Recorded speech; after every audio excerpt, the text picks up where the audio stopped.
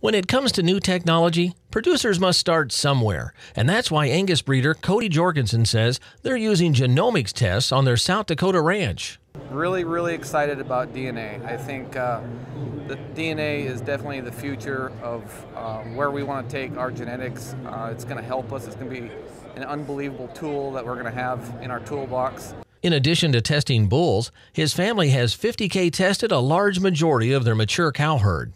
I am not doing it to to help aid uh, the marketing of the cattle. That's that's not the uh, that's not the intention. The intention is to get a better understanding genetically of what these cows can and can't do, uh, be able to make decisions, genetic decisions quicker. Um, once we know what we have, then it should, it should, it's like everything else, all the quantitative data that we do, uh, we can we can use that you know in a faster way. We can we can reproduce faster. We can we can do a lot of things. The ability to speed up breeding decisions sold Jorgensen on the technology, but he says he's especially looking forward to what information DNA can provide down the road.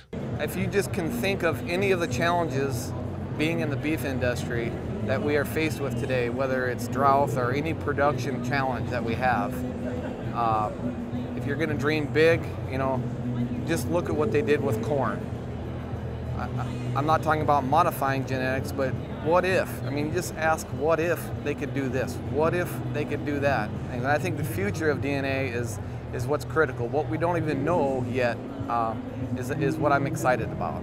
So um, that's I'm I'm all in. I'm I, uh, I, I believe in it, and I think that uh, I think it is the future of the beef industry. I'm BJ Scott.